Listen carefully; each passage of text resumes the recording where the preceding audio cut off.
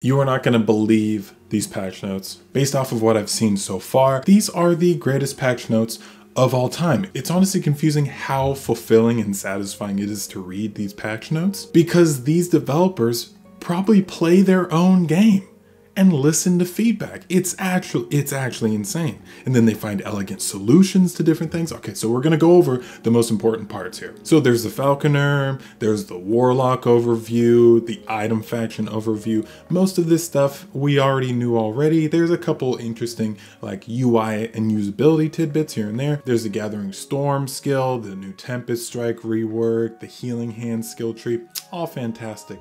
They showed us the resonances. So there's like the obsidian and the golden resonance. The obsidian one is super expensive and the golden one's just expensive.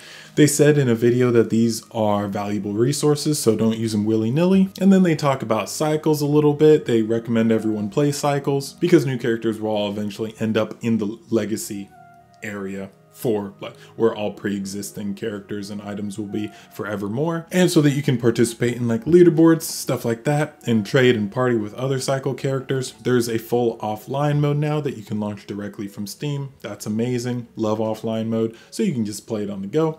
The visual upgrades they call it the scene variant system.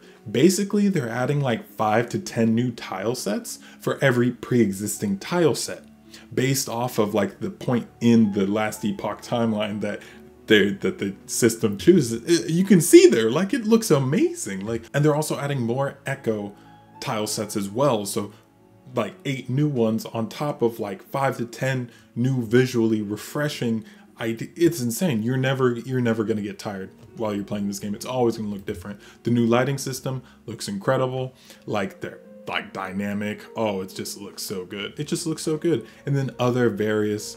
Oh, and they're adding cinematics. So if you're into story, the cinematics are there too.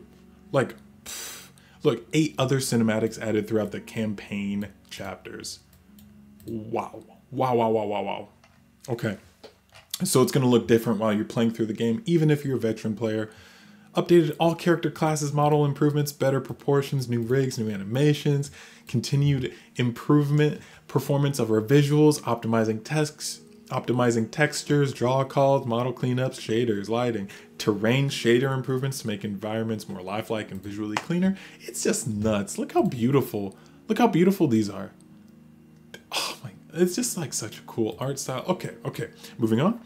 Endgame rebalance. This is the part where I just, this is the satisfying part where it's just Holy shit. Okay. What all these words say is enemy in health globally above level 60 has increased by around 5% at level 80 and 25% at level 100. Now, this is because they changed the way that corruption scales in the end game. So things are going to be slightly higher base strength, and then corruption is going to scale up more quickly and it's also going to be more densely scaled. So what this means is that for the arena and for dungeons, enemies will have a baseline higher difficulty, but they also scale back the enemy modifiers throughout all the endgame systems in order to make it only slightly more difficult. In this line specifically, because we have buffed enemies globally overall, we expect that there will be more difficult at a baseline. And that stays true for dungeons as well. But they constantly fine tune all these things, so if it's too difficult, don't don't they'll switch it back. Same thing that they're thinking about doing for corruption, they're gonna do with the endless arena. So they're gonna make it scale up more quickly, so you, you spend less time doing the infinite scaling mechanics. Wave 40 is equivalent to the old wave 200, so that saves you 60 waves just right there, and 320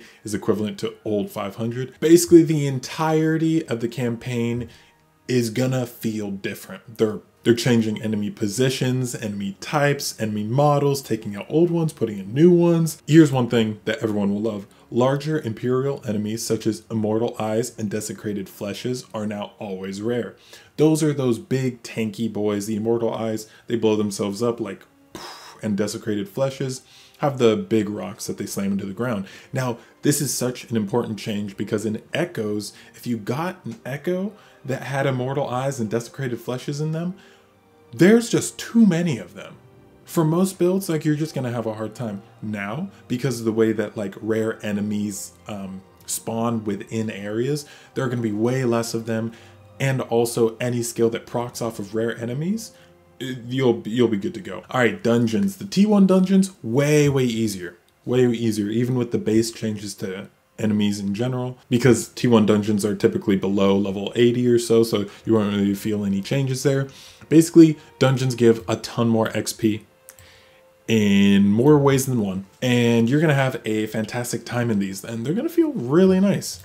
And you can see here T3 and T4 dungeon mods have been adjusted so that bosses at those tiers have a similar power to before. However, this means that earlier parts of the dungeon will be more difficult, especially for Soulfire Bastion something to keep in mind. So basically, you're going to be able to get higher corruption more quickly, and you're going to be more rewarded for doing higher corruptions at a higher pace than was previously existing in the game. It's amazing. Monolith mob density was rebalanced. As far as my own bias and anecdotal evidence is concerned, this basically makes all timelines equal, generally equal in terms of XP gained. And so it doesn't really matter which timeline you're doing. Before you really wanted to do like just a few timelines, but now it doesn't really matter. So you can do whatever you want and get the same amount of rewards effectively. Also, there's going to be more enemies, quantity, not like ver- variety wise. It used to be at the far end, an enemy modifier stayed for six echoes. And now it's to a maximum of three. So this this change makes it so that you're really going to want to stack up corruption. But getting that corruption is faster and easier, remember, because the changes they made earlier in the notes. So basically, there's going to be a smaller variance of difficulty that you're going to be able to raise up by like intentionally. Whereas before, there was a wide variance of difficulty that you raised up and then like inconsistently you know it, it's it's really nuanced what this does what those two changes do to each other. Okay. And then also they did some rebalancing on the mods as well. Uh, basically everything works in your favor. Other changes. Now this i don't know why they put this as other changes. This doesn't make any sense. These should be main changes.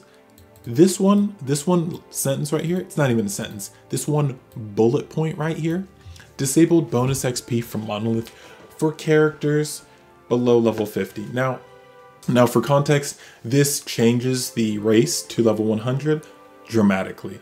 Why is that a quick summary of the way that the experience gain in Last Epoch works is that you gain bonus XP per level an enemy is above you that you kill up to 10 levels above you. And any level above that you doesn't count. So you can be killing level 100 things at level 5 and it'll only give you XP as though you're killing level 15 enemies. Now, racing in Last Epoch, you essentially reach a certain point where your character is able to go do monoliths because you don't actually have to complete the campaign in order to start the end game. So for blade dancers, they typically enter monoliths at around like level 25 or so. Absolutely ridiculous because they're level 58 areas that they're entering. But anyways, now they'll only get XP as if they were fighting level 25 monsters instead of level 35 monsters. And that is huge. So if you want to level up as quickly as possible, you're actually going to get to level 50 before you do your first monolith echo.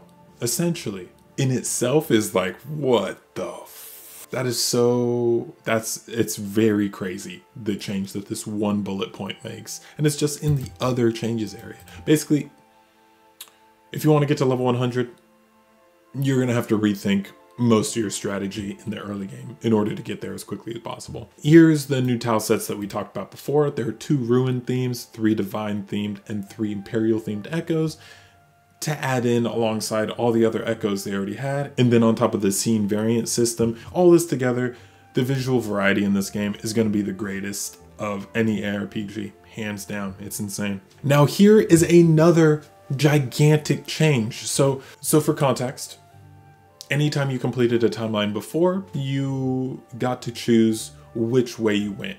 So basically, you got to choose one of two ways.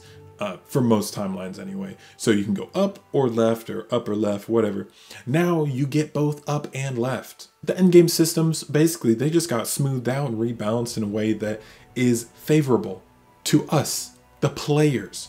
Which I can't think. I just who who thinks about their players anymore? That's that's crazy. So now we can have 25 online characters instead of 20. Um, that's five times more characters we can have than stash tabs given to us in Diablo 4. I don't know how they do it, man. They keep doing it. All right, they added a whole new mechanic into the game called parry. Now, parry is essentially a dodge that makes those hits still count as hits for the purpose of debuffs and damage over time. Uh, they don't have that many sources of them in the game, so it's impossible to currently reach the cap of 75% parry chance, but this seems really, really cool. Excited for that. Stun avoidance rework. Now, your base stun avoidance scales up with you over time, and they change the way that it scales and how useful stun avoidance as a stat is now. And they also added a new source of health into the game with the hybrid health and stun avoidance affix. So, a top tier amulet for tanking is probably going to have flat health and hybrid health stun avoidance app, um, suffixes on it, which is kind of crazy to think about. Yeah, it gives a it gives a lot of health. It says 20% less health than a health suffix modifier at higher tier values, but that's like that's totally fine. Now, I'm not going to go over all the changes to all the classes and all the items and even changing a lot of the nuances of unique items and like so many different like too many changes to go read these patch notes Go read them. You will be actually shocked by how, just how beautiful and elegant a lot of these changes are. Go read these patch notes. They're on Last Epoch forums. God damn.